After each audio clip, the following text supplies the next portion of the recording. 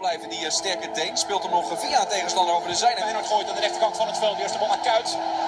Die wordt daar verdedigd. Oh, daar glijdt iemand uit.